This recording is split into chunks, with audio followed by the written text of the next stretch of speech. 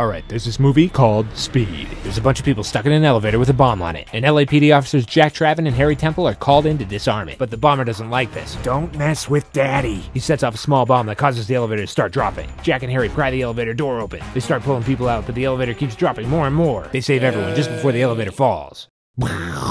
The bomber is in the freight elevator, and Jack and Harry drop in on him. The bomber grabs Harry and pulls out a detonator. Pop quiz, hot shot. He's strapped with explosives. If the bomber dies, the bomb goes off. Shoot the hostage. Jack shoots Harry, and the bomber has to let him go. And then the bomber runs away. The bomber is dead, and Jack and Harry get cool medals for being such tough cops. The next day, when Jack is getting coffee, his friend the bus driver blows up.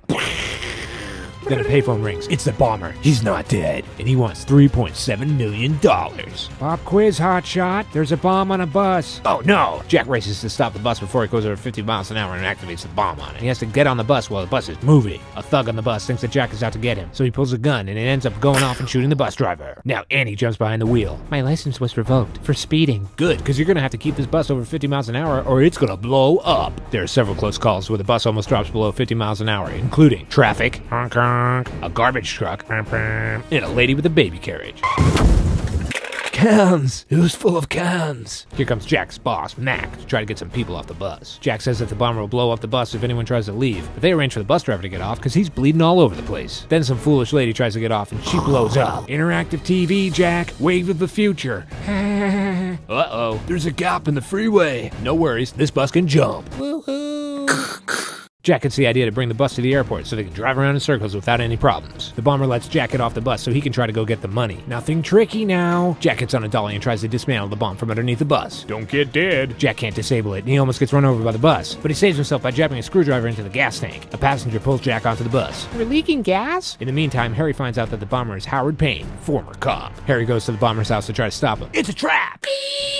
Harry's dead. The bomber calls Jack and tells him to drop $3.7 million in a trash can. Jack realizes there's a camera on the bus, and that's how the bomber is able to see them. Mac gets a TV reporter to lock into the bus's camera signal. Make a tape and loop it so it runs over and over again.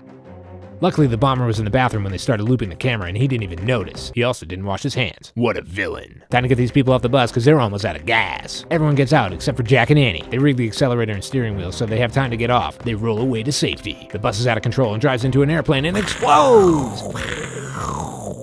The bomber has no idea that the bus blew up. Jack and Annie take an ambulance to the drop-off location. The money gets dropped in the trash. The bomber realizes the camera is on a loop and gets really mad. The cops are gonna shoot the bomber when he goes to get the money, but he's a step ahead of them and is taking the money from a hole underneath the trash can. Jack jumps down the hole and goes after the bomber. Pop quiz, jerk face, but it's not the bomber, it's Annie. The bomber grabbed her when no one is looking and now she has a bomb strapped to her. The bomber takes Annie on a subway and handcuffs her to a pole. The bomber checks on his money, but ink explodes all over it. My money! The bomber hears Jack on top of the train and goes after him. They start fighting and it looks like the bomber is gonna win.